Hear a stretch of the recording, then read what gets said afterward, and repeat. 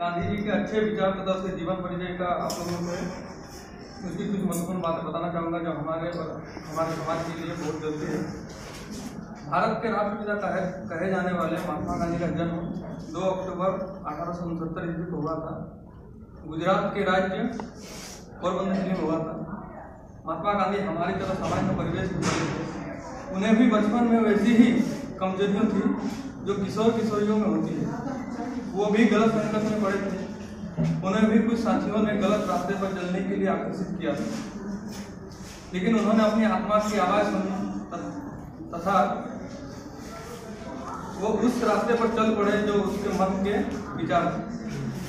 देश की स्वतंत्रता उनका अंतिम लक्ष्य नहीं थी, बल्कि उनका लक्ष्य था समस्त विश्व से गुलामी, शोषण, आतंक का अंत यही कारण था कि भारत की स्वतंत्रता के बाद विश्व के अनेक गुलाम देश के लोगों ने इनके व्यक्तित्व एवं सिद्धांतों से प्रेरणा ग्रहण और एक के बाद एक देश आज़ाद होने लगे।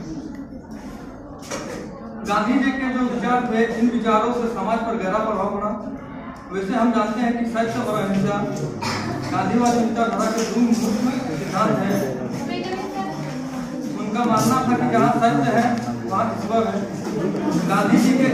इन सिद्धांतों का वर्णन हम कई धर्म में ले सकते इन ग्रंथों से हमें यही मिलती है कि सदैव सत्य और अहिंसा का मार्ग अपनाना चाहिए दूसरा सिद्धांत अहिंसा है।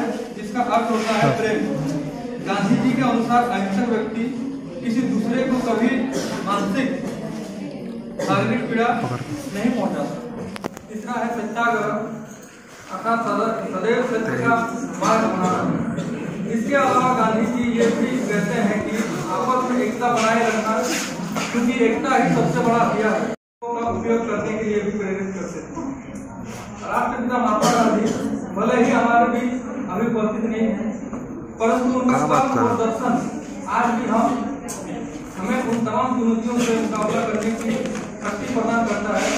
इसलिए महान वैज्ञानिक आइंस्टाइन ने भी कहा है आने वाली पीढ़ियाँ यह याद करके आश्चर्य रहेगी कि महात्मा गांधी जैसा व्यक्ति जो शरीर के ढांचे में हमारी तरह हाड़ मांस का बना था लेकिन अपनी आत्मशील में संपन्न इस धारा पर चलता था और गांधी जी से जुड़े मैं दो शायरी भी आप लोगों के समक्ष रखना चाहूँगा।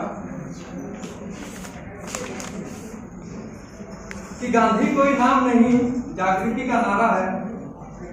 गांधी कोई नाम नहीं जागृति का नारा है प्रेरित करते आगे बढ़ो तुम कल का सूरज